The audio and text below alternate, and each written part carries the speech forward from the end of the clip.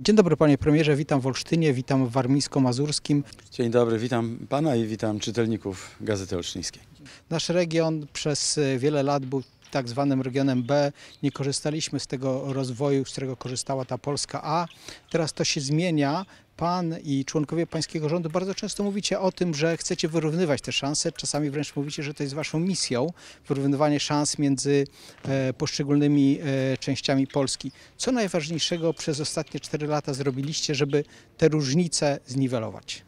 Przede wszystkim, panie redaktorze, szanowni państwo, to potężne inwestycje, których nigdy nie było właśnie w Polskę lokalną. Ja nie lubię tego określenia Polska A, Polska B. To był model polaryzacyjno-dyfuzyjny liberałów, naszych poprzedników. Oni mm, widzieli te tereny jako mm, tereny daleko od szosy, żeby się posłużyć tytułem serialu sprzed lat. My widzimy te mm, tereny, ten region jako jeden z najpiękniejszych w Polsce, który wszakże musi się rozwijać nie tylko dzięki turystyce, ale również musi mieć szansę na rozwój w wielu sektorach gospodarki. Aby tak się stało, to postawiliśmy na rozwój infrastruktury, na drogi ekspresowe, ale także na przyspieszenie S16, ale również na drogi gminne, drogi powiatowe i rozwój infrastruktury, który podnosi jakość życia, jak chociażby tutaj przepiękna sala sportowa w Olsztynie, która będzie służyć dzieciom i młodzieży. To wszystko jest ważne, żeby przyciągnąć przedsiębiorców, nowe miejsca pracy, wyższe zarobki, bo to powoduje, że mm, zatrzyma się wreszcie ta depopulacja, która jest zmorą tego regionu. No właśnie, panie premierze, wspomniał pan o 16. Dla nas to jest bardzo ważna droga. Mówią, mówimy nawet na nią, e, że jest to kręgosłup komunikacyjny naszego regionu. No niestety pseudoekolodzy przez dłuższy czas, dłuższy czas blokowali tą drogę. W tej chwili będzie to droga rokadowa, droga strategiczna. Czy możemy tutaj liczyć, że w końcu budowa tego odcinka między Mrągowem a Ełkiem ruszy z miejsca? Tak będzie, m, panie redaktorze. Ja bardzo ubolewam, że różne organizacje blokują bardzo często rozwój infrastruktury, tak jakby nie widzieli, jak ważna ona jest dla zwykłego człowieka, dla zwykłego Polaka. Ptaszki i trawa i żaby i ślimaki są bardzo ważne, na pewno, ale najważniejszy jest rozwój. Najważniejsze jest to, żeby były miejsca pracy, żeby matki i babcie nie zostawały same, bo ktoś musi jechać na szparagi do Berlina albo na zmywak do Londynu. No chyba, że niektórym organizacjom właśnie dokładnie może o to chodzić. Dlatego właśnie przyjęliśmy, że droga S16, która jest tą drogą życia, kręgosłupem w armii Mazur, będzie wyjęta spod możliwości tego szantażu ekologicznego i będzie zrealizowana dużo szybciej, ponieważ uznaliśmy, że jest ona ważna dla bezpieczeństwa Polski.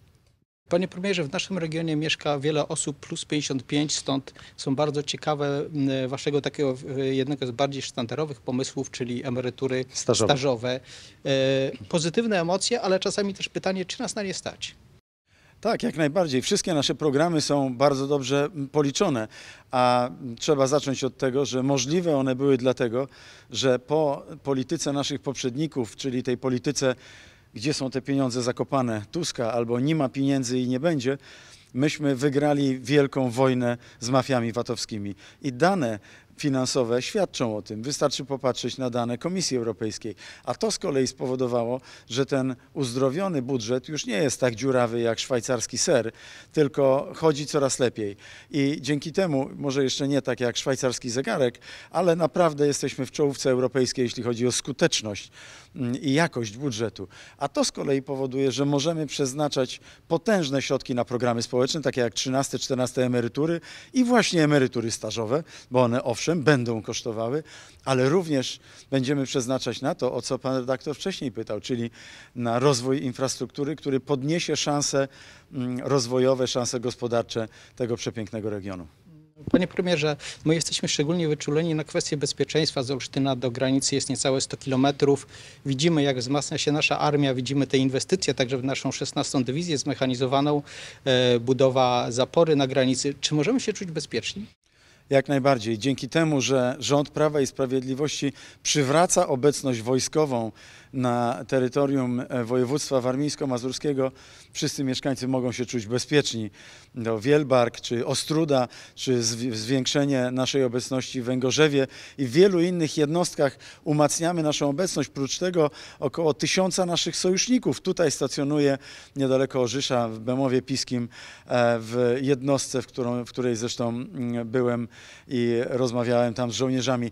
To wszystko powoduje, że Polska jako część najpotężniejszego sojuszu militarnego w historii świata i Polska jako państwo, które się zbroi coraz szybciej, na pewno może się czuć bezpiecznie. Panie premierze, rozmawiamy w Warmińsko-Mazurskim Centrum Szermierki, pięknym budynku, który został zbudowany głównie z pieniędzy budżetu państwa. Mam nadzieję, że to nie jest wasze ostatnie słowo. To nie tylko nie jest ostatnie słowo, ale jeżeli wyborcy nam zaufają, to kolejne programy inwestycji w Polskę lokalną, właśnie inwestycji sportowych albo w ochronę zdrowia, bądź w edukację, czy transport, komunikację, ale również świetlice środowiskowe, świetlice wiejskie, remizy strażackie, ochotnicze straże pożarne. Te wszystkie wielkie inwestycje, które widzieliście, drodzy Państwo, one będą kontynuowane. Ale oczywiście pod warunkiem, że do władzy nie wrócą ci, którzy mówią, pieniędzy nie ma i nie będzie. Dziękuję bardzo za rozmowę. Dziękuję bardzo.